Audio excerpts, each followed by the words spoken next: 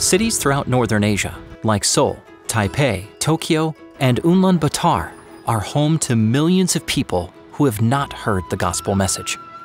Reaching these vast cities seems daunting, and the work in sensitive territories is even more difficult to measure. Not even 1% of the 230 million people in the northern Asia Pacific region are Seventh day Adventists. Despite the challenges, Adventists pray for opportunities to share the light of Jesus in this territory.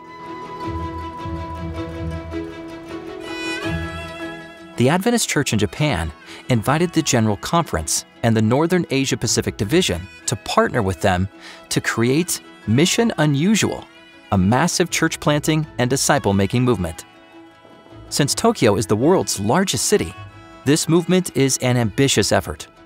Working closely with local Japanese church leaders, a team of church planting missionaries is on the ground, learning the language and deciding how best to share Jesus with the Japanese. The three missionary couples spend hours each day preparing themselves for the work within central Tokyo. It's not just the population size that makes outreach hard. There are many barriers to religion too. The Japanese society is largely secular, and many people adhere to Eastern philosophy. Another challenge is overcoming the isolation of the older generation. Reaching out to them and showing them compassion can be tricky. Missionaries like Yuri and Lais have been creating connections with their neighbors. Simple tasks like shopping, visiting the local park, and practicing their growing Japanese vocabulary with strangers on the street are all opportunities to connect. The missionary team gathers each Sabbath to pray, study God's Word, eat, laugh, share challenges, and seek the Holy Spirit together. Aya is a great example of a local church member who has taken the spirit of mission unusual to heart. She uses her home as a place of ministry, especially for parents and kids.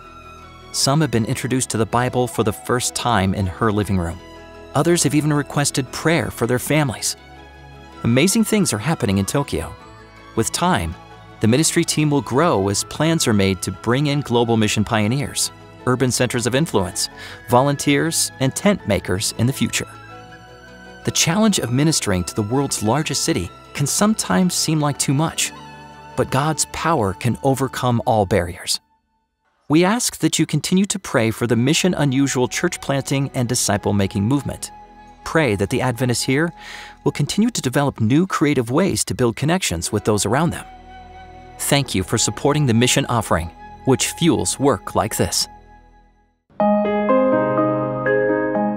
The hills around Ulaanbaatar, Mongolia are covered in brightly colored houses and traditional yurts. A Mongolian yurt is a type of elaborate, semi-permanent tent. The concept has been used for many generations. Assembling and disassembling a yurt takes only a few hours. They may not seem like they would be very sturdy, but yurts can withstand even the worst storms. In some areas of Mongolia, yurts are used as places of worship. It's a perfect space to keep warm during the cold winter months. Bano is ADRA Mongolia's chief accountant. She uses her yurt home to host Mongolia's only Pathfinder club and a small congregation. Bano and her husband Boomchin planted this church as global mission pioneers several years ago. They wanted to create a better community for their own kids among the neighborhood children. Bono started a Bible story time, which quickly became popular with both the children and the adults because of her enthusiasm, creativity, and wonderful storytelling. They used to attend the main Adventist church in the city. As the neighborhood children became more involved in their lives, Bano and Boomchin took them along. That soon became a problem because the car could only fit so many children. The solution they decided was to start a Sabbath school in their yurt home.